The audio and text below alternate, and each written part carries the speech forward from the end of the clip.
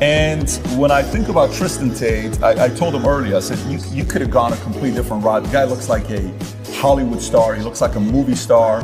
Uh, he, he, looks like he could have played James Bond. Maybe. My name is Tristan Tate. I am the smarter and better looking half of the Tate brothers.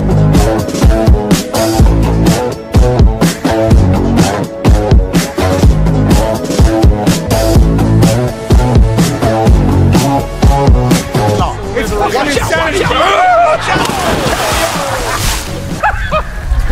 fuck.